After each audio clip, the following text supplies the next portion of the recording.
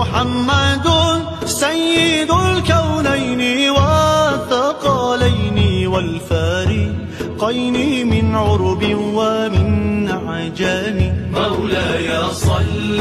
وسلم دائما أبدا على حبيبك خير الخلق